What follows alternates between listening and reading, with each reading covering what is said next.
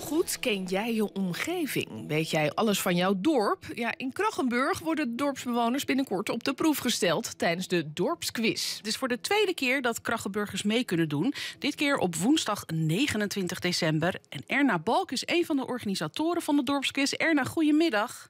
Goedemiddag. Hoe is de dorpsquiz eigenlijk ontstaan? Nou, eigenlijk um, een paar jaar geleden was uh, een van onze quizleden toen, die uh, had dus van een collega gehoord over, uh, een, die woonde in een ander dorp, daar hadden ze een quiz. En dat bracht elk jaar zoveel mensen op de benen, dat was zo gezellig. Dus zij had zoiets, nou, dat wil ik ook in ons dorp organiseren. Dus zij heeft toen een paar mensen om zich heen verzameld. En hebben wij met z'n zevenen twee jaar geleden de eerste dorpsquiz georganiseerd.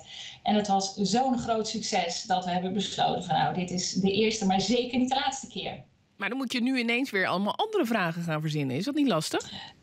Uh, nee, dat is niet zo moeilijk hoor. Want als je met z'n zevenen gewoon een avond bij elkaar zit, een beetje gaat zitten brainstormen. We hebben nu weer een paar nieuwe mensen erbij met nieuwe ideeën. Uh, dan is er zoveel te verzinnen. En uh, nee, we zijn nog lang niet uitgeput. Nee, want Krachenburg is natuurlijk niet een van de grootste dorpen hier in de provincie. Uh, dan is de kans natuurlijk wel dat je toch wel op dezelfde plekken misschien uitkomt waar je. Maar dan doe je dan via vragen dat je op een andere manier daarop uitkomt?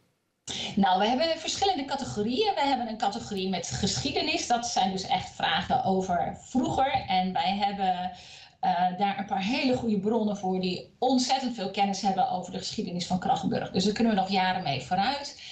Uh, we hebben een categorie actualiteit, dus dat zijn allemaal onderwerpen die het afgelopen jaar zijn gebeurd. Uh, we hebben deze keer een rubriek over verenigingen. We hebben natuurlijk veel verenigingen in ons dorp die ook altijd wat uh, te melden hebben. Of nou ja, we hebben soms ook vragen waarvan de eigen leden het antwoord niet weten. Wij hebben verschillende doelopdrachten.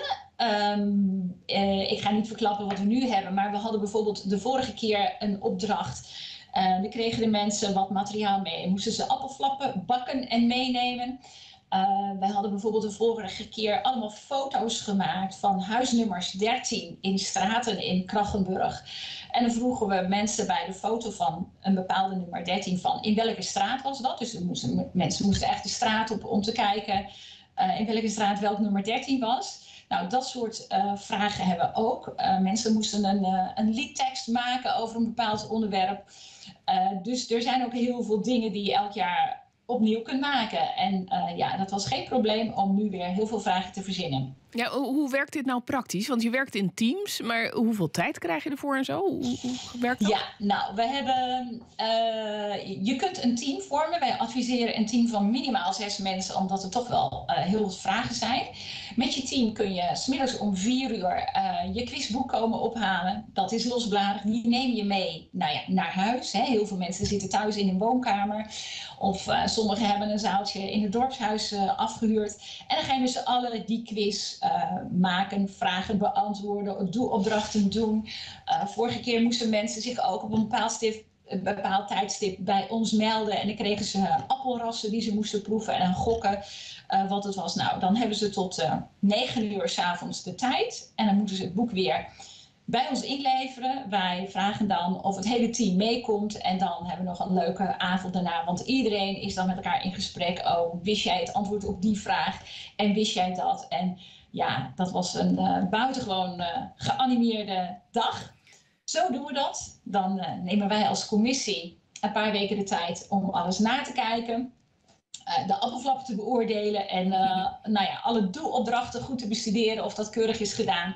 En dan op 15 januari op een zaterdagavond, dan hebben we de zogenaamde uitslagenavond. Nodigen we iedereen weer uit. En dan maken we een heel leuk programma. En aan het einde dan uh, maken we de winnaar bekend. Zo ja, werkt het. Ja, Erna, het klinkt allemaal super gezellig. Ja, behalve dat er gepuzzeld moet worden, is het dus ook een heel sociaal gebeuren. Um, het is natuurlijk wel lastig, want uh, ja, deze week ging nou net even weer zo'n uh, avondlockdown in. ja, ja, hoe kijk ik... je naar die datum van 29 Nou, wij december? zitten natuurlijk ook een beetje. Ja, wij zitten natuurlijk ook een beetje met samengeknepen billen. En uh, wij hopen dat het uh, door kan gaan. Um, we moeten even de maatregelen afwachten. ehm, mocht het niet lukken, dan, zijn er, dan zijn, gaan we twee dingen doen. Eén, we gaan de quiz uitstellen tot een datum dat het wel weer wel kan. Een ander ding is dat uh, mocht het niet lukken, ook niet om met zoveel mensen thuis te zitten, dan uh, hebben wij twee andere enthousiaste krachtburgers gevonden die een online pubquiz gaan doen.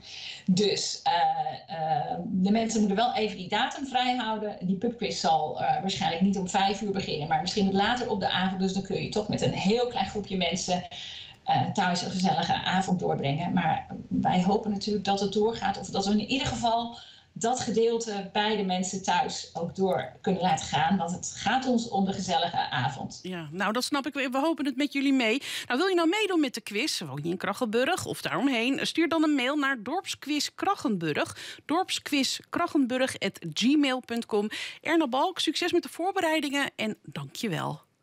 Ja, ook dankjewel. En by the way, we hebben net nog even een Facebookpagina aangemaakt. Waar we ook de mensen op de hoogte gaan houden uh, van alle ontwikkelingen. Er staat nog niet zoveel op, maar dat wordt uh, gevuld de en komende hoe, dagen. hoe vind je die dan?